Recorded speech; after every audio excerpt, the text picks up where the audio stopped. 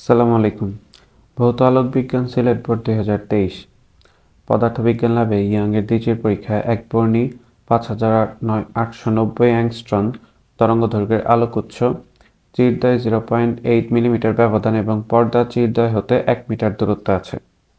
রিমা পর্দাকে চিরদয় চিরদয়ের দিকে five point two centimetre সরিয়ে এবং সীমা বিপরীত দিকে ফাইভ পয়েন্ট টু সেন্টিমিটার সরিয়ে ব্যতিচার সজ্জা পর্যবেক্ষণ করে।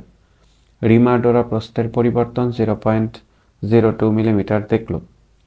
গ নম্বর, পর্দার প্রাথমিক অবস্থানে প্রতিটি ডোরার প্রস্থ নির্ণয় করতে বলা হয়েছে। পর্দার প্রাথমিক অবস্থানে প্রতিটি ডোরার প্রস্থ নির্ণয় করতে বলা হয়েছে। পর্দা চিরদয় হতে এক মিটার দূরত্বে অবস্থিত। অর্থাৎ এখান থেকে যদি আমরা চিত্র আঁকি, তাহলে চিত্রটা দেখতে এরকম হয়। এখানে এস ওয়ান আর এস টু হচ্ছে দুইটা উৎস, অর্থাৎ দুইটা চির। এই দুইটা চিরদ্বয়ের ব্যবধান জিরো পয়েন্ট এইট মিলিমিটার দেওয়া আছে। পর্দা থেকে চিরদ্বয়ের দূরত্ব হচ্ছে ওয়ান মিলিমিটার এই প্রান্ত থেকে ওই প্রান্ত পর্যন্ত দূরত্ব ওয়ান মিলিমিটার তো এটার জন্য আমাদের ডোরা প্রস্থ বের করতে হবে। গ নাম্বারে বের করতে বলা হয়েছে, প্রাথমিক অবস্থানে প্রতিটি ডোরার প্রস্থ নির্ণয় করো। গ। ব্যতিচারের ক্ষেত্রে ডোরা প্রস্থ বের করার সূত্র আমরা জানি del X is equal to ওপরে হচ্ছে lambda D divide two into A তো ল্যামডার মান এখানে দেওয়া আছে, বলা হয়েছে পাঁচ হাজার আটশো নব্বই অ্যাংস্ট্রন যেটাকে মিটারে নিলে আমরা পাবো পাঁচ হাজার আটশো নব্বই into ten inverse ten metre D এর মান হচ্ছে ওয়ান মিটার ডি হচ্ছে চিরদয় হতে পর্দার দূরত্ব ওয়ান মিটার দেওয়া আছে, আর এ হচ্ছে দুটি চিরের মধ্যবর্তী দূরত্ব, এই দুইটি চির এদের মধ্যবর্তী দূরত্ব দেওয়া আছে zero point eight millimetre plus zero point eight into ten inverse three metre metre নিলে আমরা টেন ইনভার্স থ্রি পাবো।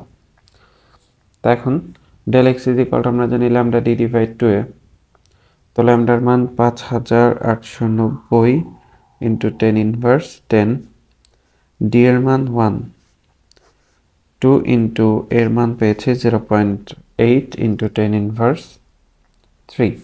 এটাকে যদি এখন আমরা ক্যালকুলেশন করি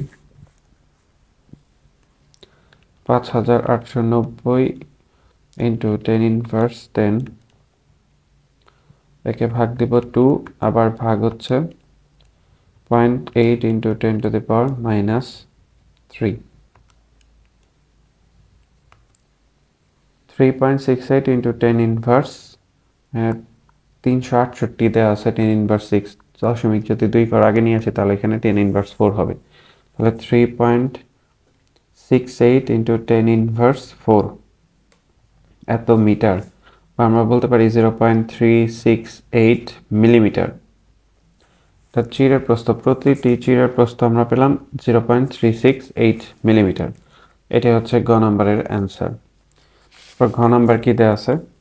যে রিমার পরীক্ষায় কেন্দ্রীয় উজ্জ্বল পট্টি হতে তৃতীয় অন্ধকার পট্টির দূরত্ব প্রাথমিক অবস্থান থেকে যতটুকু কমে সীমার ক্ষেত্রে দূরত্ব ততটুকু বৃদ্ধি পায়। গাণিতিক যাচাই করতে বিশ্লেষণ করো। অর্থাৎ রিমার ক্ষেত্রে আর সীমার ক্ষেত্রে দুইটা ক্ষেত্রে আমাদের পর্দার দূরত্ব চির থেকে চেঞ্জ করা হয়েছে। রিমার ক্ষেত্রে ফাইভ পয়েন্ট টু সেন্টিমিটার পর্দার দিকে সরিয়ে আর সীমার ক্ষেত্রে পর্দা থেকে ফাইভ পয়েন্ট টু সেন্টিমিটার মানে আগে যে জায়গায় পর্দা ছিল তার থেকে ফাইভ পয়েন্ট টু সেন্টিমিটার দূরে সরানো হয়েছে। আর রিমার ক্ষেত্রে পর্দাটাকে ফাইভ পয়েন্ট টু সেন্টিমিটার আগিয়ে নিয়ে আসা হয়েছে। তো এখন দুই ক্ষেত্রে আমাদের বের করতে বলা হয়েছে যে তৃতীয় অন্ধকার পট্টির দূরত্ব প্রাথমিক অবস্থান থেকে যতটুকু কমে, অর্থাৎ তৃতীয় অন্ধকার পট্টির দূরত্ব প্রাথমিকে কত ছিল সেটা আগে আমরা বের করে নিই। তৃতীয় অন্ধকার পট্টির দূরত্ব প্রাথমিকে ছিল কত? যেহেতু অন্ধকার পট্টি, আবার তৃতীয় অন্ধকার পট্টি বলা হয়েছে, তাহলে এখানে এন এর মান হচ্ছে থ্রি তাহলে এক্স এন এটা ইজ টু আমরা জানি যেহেতু অন্ধকার, তাহলে two minus one two N minus one lambda D divide two A যে কেন্দ্রীয় উজ্জ্বল হতে তৃতীয় অন্ধকার, এদের মধ্যবর্তী দূরত্ব এক্স থ্রি তাহলে এক্স এনের পরিবর্তে এখন আমরা লিখতে পারি X three two into three minus one lambda D divide হচ্ছে টু এ যদি আমরা মান বসাই সিক্স মাইনাস ওয়ান ইন্টু ল্যামডার মান পাঁচ হাজার আটশো নব্বই into ten inverse ten D এর মান ওয়ান প্রাথমিক অবস্থায় ওয়ান মিটার ছিল। টু ইন্টু চিরদার মধ্যবর্তী দূরত্ব zero point eight into ten inverse three এটাকে যদি আমরা ক্যালকুলেশন করি ফাইভ ইন্টু পাঁচ হাজার আটশো নব্বই into ten to the power minus ten গুণন সরি ভাগ টু ভাগ point eight into ten to the power minus three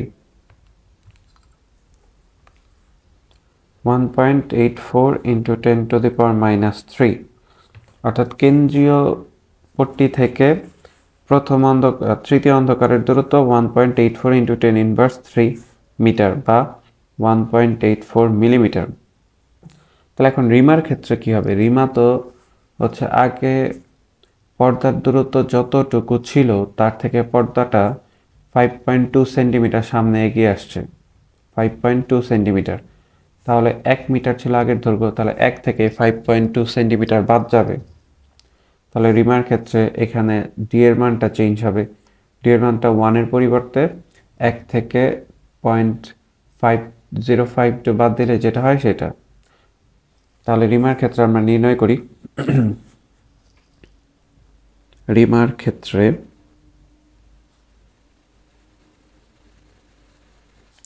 D is equal to one minus zero point zero five two এটা হচ্ছে মিটারে। এটাকে যদি ক্যালকুলেশন করি, তাহলে zero point nine four eight এত metre.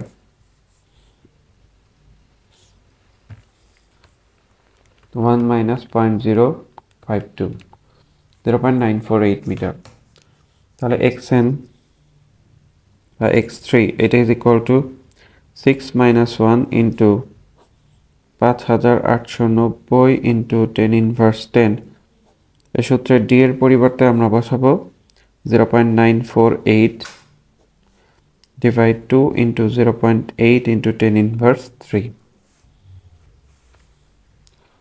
তাহলে ফাইভ ইন্টু বাকি সব কিছু সেম থাকবে ফাইভ পাঁচ হাজার আটশো নব্বই into ten to the power minus ten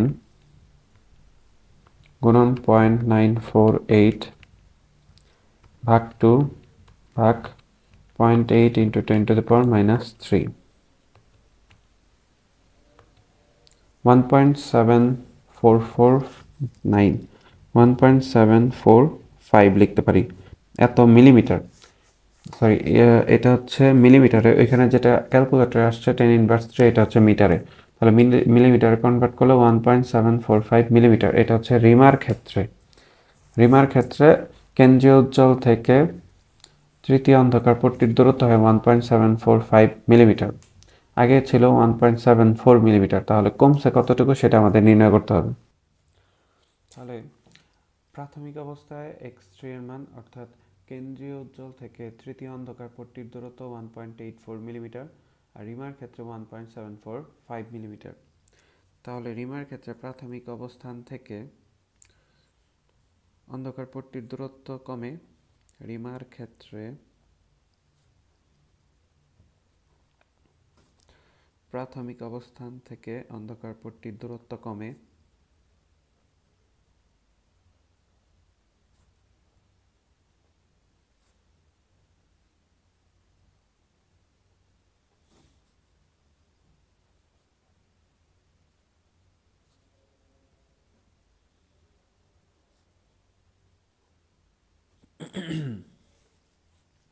কতটুকু হবে?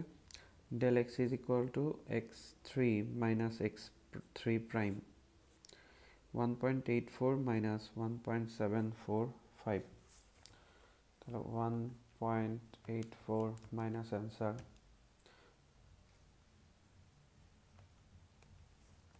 point eight four minus one point seven four five zero point zero nine five millimetre zero point zero nine five millimetre. এখন সীমার ক্ষেত্রে বের করতে হবে। সীমার ক্ষেত্রে কি হয়েছে? সীমার ক্ষেত্রে পর্দাটি zero point five point two centimetre সামনে আনা হয়।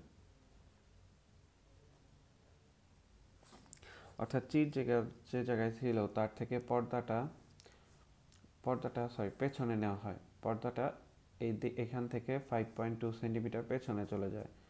তাহলে এখন পর্দার দূরত্ব কত হবে? ডি এর মান হবে one plus zero point zero five two metre তো one point zero five two metre এটা হচ্ছে সীমার ক্ষেত্রে পর্দার দূরত্ব। তাহলে del X sorry X three double prime এটা is equal to same two N minus one lambda D divide two A সূত্র। তাহলে টু ইন্টু এর মান হচ্ছে থ্রি মাইনাস ওয়ান ল্যামডার মান পাঁচ হাজার আটশো নব্বই into ten inverse ten D এর মান one point zero five two two into এর মান হচ্ছে zero point eight into ten inverse three এটাকে যদি এখন আমরা ক্যালকুলেশন করি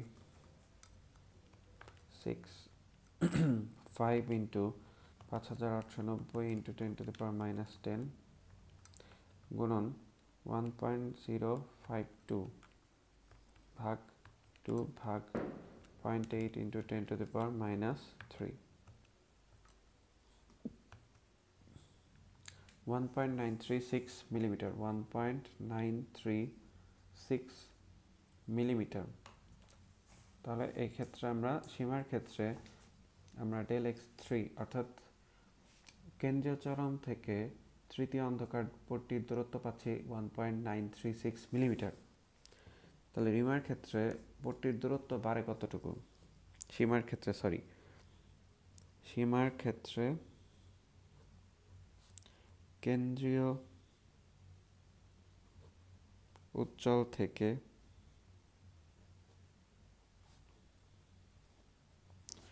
তৃতীয় অন্ধকার পট্টির দূরত্ব বৃদ্ধি পায়।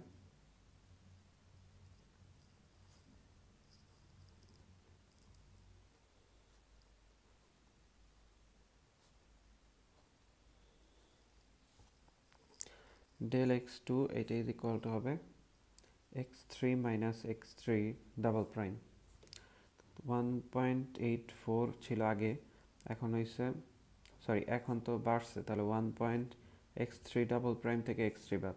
One point nine three six minus one point eight four millimetre তাহলে এটাকে যদি আমরা ক্যালকুলেশন করি one point nine three six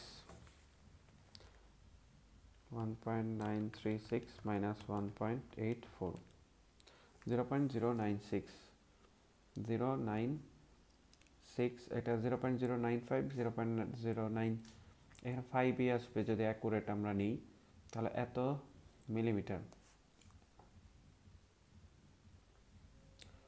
তাহলে আমরা কি দেখলাম যে রিমার ক্ষেত্রে প্রাথমিক অবস্থান থেকে অন্ধকার পট্টির দূরত্ব কমে zero point zero nine five millimetre সীমার ক্ষেত্রেও প্রাথমিক কেন্দ্রীয় চরম থেকে, কেন্দ্রীয় উজ্জ্বল থেকে তৃতীয় অন্ধকার পট্টির দূরত্ব বারো zero point zero nine five metre আমাদের কোশ্চেনটা ছিল যে রিমার পরীক্ষায় কেন্দ্রীয় উজ্জ্বল পট্টি হতে তৃতীয় অন্ধকার পট্টির দূরত্ব প্রাথমিক অবস্থান থেকে যতটুকু কমে, সীমার পরীক্ষা ততটুকু বৃদ্ধি পায়। তাহলে সেটাই আমরা এখানে প্রমাণ করে দেখলাম যে হ্যাঁ কথাটা সঠিক, ততটুকুই বৃদ্ধি পায়। তো আশা করি ম্যাথটা সবাই বুঝতে পেরেছেন। ভালো লাগলে অবশ্যই লাইক শেয়ার সাবস্ক্রাইব করবেন। আর সমস্যা থাকলে অবশ্যই কমেন্ট করে জানাবেন। আল্লাহ হাফেজ।